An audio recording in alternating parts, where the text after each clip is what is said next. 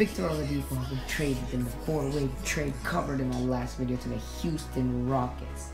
Now let's take a look at this trade. Personally, I found Victor Oladipo set on the Indiana Pacers.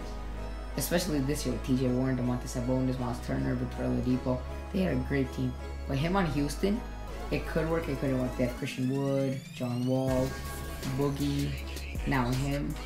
But the loss of Harden, you know, Victor is a really good player. Look at this, young player, very talented. But yeah, so I'm 50-50. Could work, couldn't work. Check out my other two videos just posted. Like, subscribe, follow for more content.